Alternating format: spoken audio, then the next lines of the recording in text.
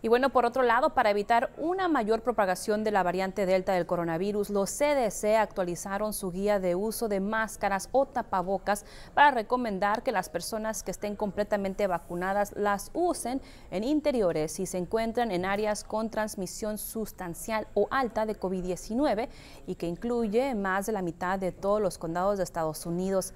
La guía más reciente de los CDC también recomienda que los líderes comunitarios alienten la vacunación y el uso de mascarillas para prevenir nuevos brotes en áreas de transmisión sustancial y alta. Mientras tanto, la guía para las personas que no están vacunadas sigue siendo la misma. Deben continuar usando cubrebocas hasta que estén completamente vacunadas. Y con estas medidas es importante que sus hijos también se mantengan al tanto con sus otras vacunaciones. Por ello, CCISD tendrá una clínica de vacunación en la preparatoria Miller el día de mañana miércoles de 10 de la mañana a 2 de la tarde. Una segunda clínica tomará lugar en la preparatoria Muri el jueves de 10 de la mañana a 2 de la tarde. Si usted piensa llevar a sus hijos, no olvide su carnet de vacunación.